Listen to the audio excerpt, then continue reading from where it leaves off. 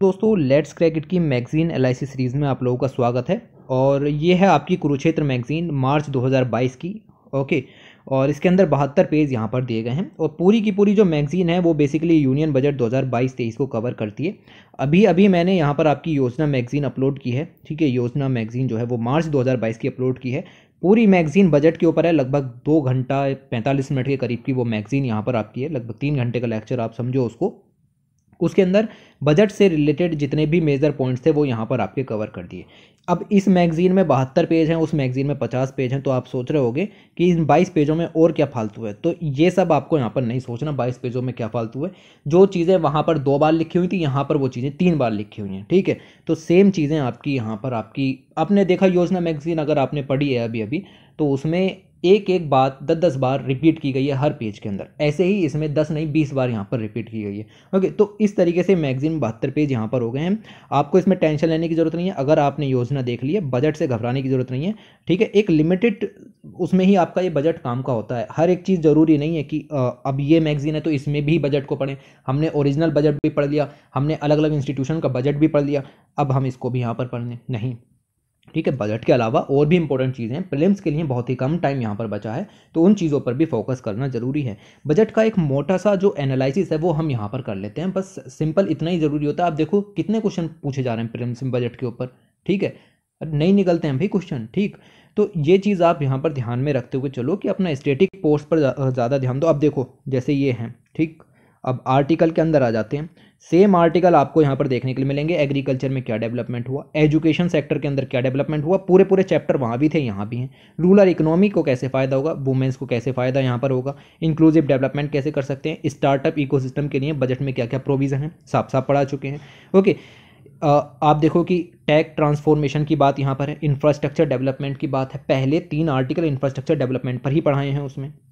Right तो ये मत समझो कि ऐसा है। हमने पिछले साल भी यही किया था कि मार्च की जो मैगजीन है, उसको यहाँ पर इग्नोर कर दिया था और उससे कोई भी फ़र्क नहीं पड़ा। जब दोनों मैगजीन सेम है तो फिर यहाँ पर बार बार पढ़ने की ज़रूरत नहीं पड़ती है। हमने साफ़ साफ़ डिस्कस किया है, उसमें पूरा एक आर्टिकल है सस्टेनेबल डेवलपमेंट गोल का, और उसका लोकलाइजेशन कैसे किया जाए, ये रहा भाई सेम आर्टिकल यहाँ पर। तो ये कुछ और थोड़ी है सेम पब्लिकेशन है, नाम अलग है बस, ठीक? तो ये चीज़ें आपको थोड़ी सी यहाँ पर ध्यान में रखनी है।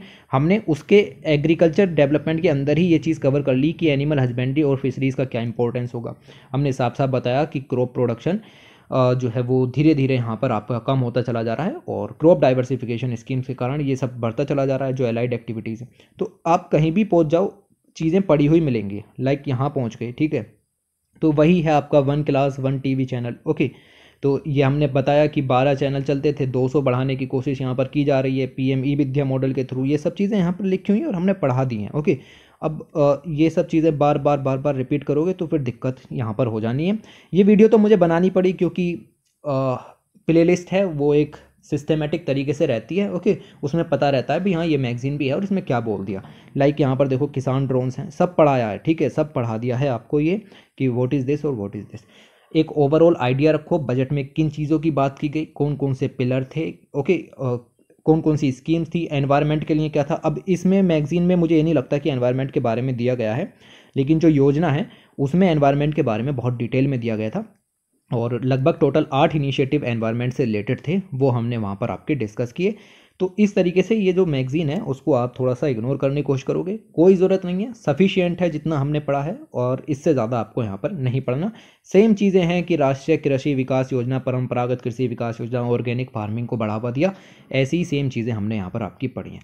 और तो कहीं पर भी आप देख सकते हो कि कि हम हमने जो है चीज़ें यहाँ पर आपकी पढ़ी हैं। ये जो आपका दिया है रोड ट्रांसपोर्ट, रेलवे ट्रांसपोर्ट, ये सब गति शक्ति के अंदर में काम चल रहा है। डिटेल में डिस्कस किया है। सात जो पिलर हैं गति शक्ति के अंदर हैं, वो चीज़ें आपकी यहाँ पर दस लाइनों में कवर कर दी। ओके तो ये चीज़ें आपकी यहाँ पर इस तरीके से पूरी होती हैं।